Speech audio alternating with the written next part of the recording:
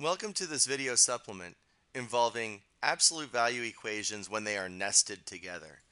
We are going to work through the problem you see on the screen. Perhaps you want to hit pause and try this problem out before we proceed together.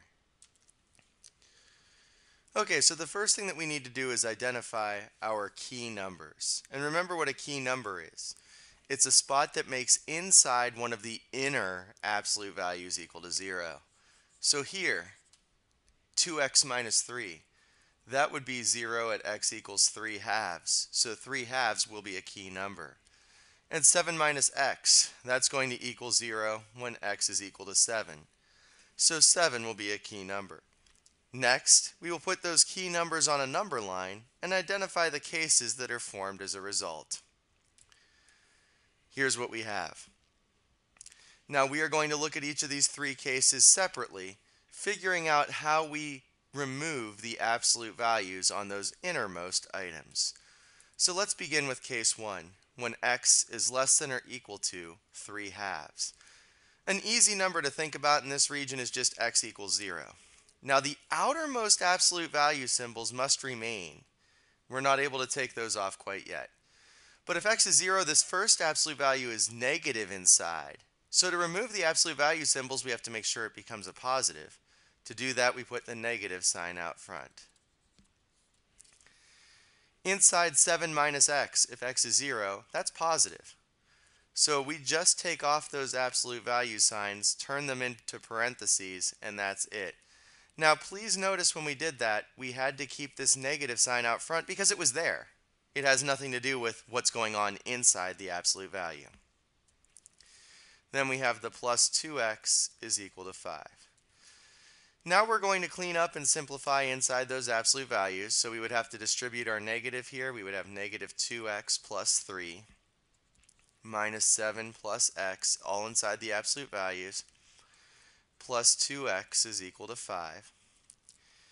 Cleaning up inside the absolute values one more time, we are going to have a negative x minus 4 inside those absolute values, plus 2x is equal to 5. Now we have to look for a potential additional key number.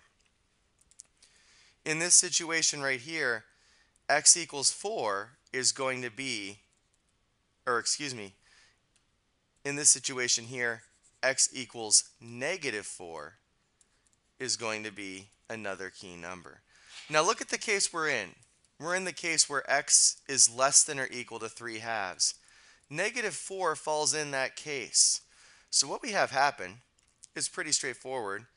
We have a situation where we've got the negative 4, over here is our 3 halves, and we're splitting this into two subcases. We'll have a subcase A and a subcase B. So let's just kind of write those over here on the side just so that we can see everything on the screen. We've got subcase A.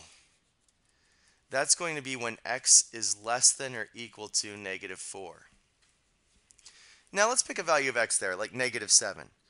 If we plug it in, this would be 7 minus 4, which is 3. Inside the absolute values would be positive, so we just remove those absolute value symbols when writing this subcase. So it'll be a negative x minus 4, just removing the absolute value symbols, plus 2x is equal to 5. Uh, let's see, that's going to be x minus 4 is equal to 5. That's going to be x is equal to 9. Now, to check these, it's pretty simple. You have to check it against both the subcase, and it also has to check against the original case. In this situation, it doesn't check with either. 9 is not less than or equal to negative 4, and it's not less than or equal to 3 halves. So that would not be a valid solution. Then we're going to look at subcase B. For subcase B, x is going to be bigger than or equal to negative 4, but less than or equal to 3 halves. x equals 0 would be an example. When we plug in x equals 0 right here, inside the absolute value is negative. So to remove the absolute values, we have to change the sign. We put parentheses and we throw a negative out front. Plus 2x equals 5. We'll distribute our negative, clean things up, and solve for x. Now in this case we're getting x equals 1 third. Let's track it to see if it is a solution. So 1 third, does it check, is it in the subcase? Yeah, that's good. Also, x equals 1 third. Is it in the original case itself? Yes, it is. So that will be a solution. So watch out if you have a nested set of absolute values and you need to go through and examine subcases. Let's turn our attention to the next case and see what happens. So case 2, x is between 3 halves and 7. Let's pick x equals 4. So if we plug in x equals 4, this first absolute value is positive. We can just remove those absolute value signs. And this second absolute value is also positive. So we can just remove those absolute value signs, keeping the negative that was there out front though, because that's not part of what we're considering. Okay, cleaning up inside, 2x plus x is going to be a 3x. Negative 3 minus 7 is going to be minus 10. If you do that in one step, just be careful that you don't make any silly mistakes. So now at this juncture we look and we see what the key number would be. In this case the key number would be x equals 10 thirds. That is bigger than 3 halves. 3 halves is 1.5, 10 thirds is 3 and a third. It's going to fall in case 2. So we will have a situation again of having subcases. Here we had 3 halves. Here we have 4. We're going to have another set of a subcase A and a subcase B. So again, I'm going to write it out over here on the side so we can see how everything works. For subcase A, 3 halves would be less than or equal to x, which would be less than or equal to 10 thirds. Yes, we have to be able to do this without a calculator, so just be careful. If I plug in a value of x, say x equals 2, inside the absolute values here would be negative. So to take off the absolute value sign, I would have to put a negative symbol out front. And then we will clean everything up. Make sure to distribute that negative. You don't want to make a silly mistake. And I'm getting x equals 5. Unfortunately, x equals 5 does not fall in the subcase. Just make it clear why you're saying the answer is that it is not a solution. Then we will also have subcase B. For subcase B, 10 thirds will be less than or equal to x, which is less than or equal to 4. Now, if I plug in a value of x between 10 thirds and 4, let's say x equals, hmm, well, it's going to be like 3.5 or something. This will be positive inside. Notice it's changing around the 10 thirds. That was the key number. So we can just simply remove those absolute values and rewrite our equation. And we get that x is equal to 3. Unfortunately, again, 3 does not fall in the subcase. 10 thirds is 3 and a third. 3 is not greater than or equal to 3 and a third. So overall here, in our second case, we did not achieve an additional solution. Last but not least, we're looking at case 3, when x is greater than or equal to 7. So if I plugged in something like x equals 10, that first absolute value is positive inside, so we can just remove it. But over here, this would be negative. When this is negative, we're going to put another negative out front, or you can think about just changing this sign right here from a negative into a positive. Whatever works for you, whatever you find most rational in considering this. Plus 2x equals 5. Simplify inside our absolute values. 2x minus x is just an x. Negative 3 plus 7 is 4.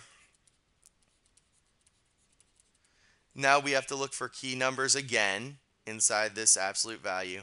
Here the key number is x equals negative 4, but notice x equals negative 4 does not fall inside the case we're considering. We do not get subcases here. This absolute value is either always going to be positive inside or always going to be negative inside when we're in case 3. If I plug in a value of x bigger than 7, it's always positive. So we just remove the absolute value symbols and continue on our merry way. We'll get 3x is equal to 1 and x equals 1 third. Ah, we saw that value before, but in this case, we would say that that isn't a solution because one third is not greater than or equal to 7. Don't worry though, it doesn't override what we achieved earlier in this problem when we said that x equals one third was a solution. So when we consider our original problem then, we have to go back and look at exactly how things panned out. In case one that we did first, in case one that we did first, we actually had a solution there. The solution was that x is equal to one third. Over in situation case two, we didn't have any solutions. In case three, we didn't have any solutions. So overall, our answer to this problem would be that x is equal to one third. Hopefully you understand the process in working with nested absolute values. You start with the innermost ones, find their key numbers, and then when you get to another absolute value of an algebraic expression, look for additional key numbers and see if those additional key numbers fall in the case you're working with. If they do, you will gather subcases like we had in the first two scenarios in this problem.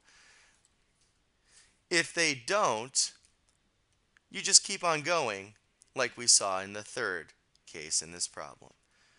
Now sure these problems can get quite sophisticated. Be careful, be organized, try your best to avoid silly mistakes. But overall the organization and the ability to work with a number line are key traits both for these kind of problems and for your success in this class, as well as your ability to succeed and thrive in AP Calculus.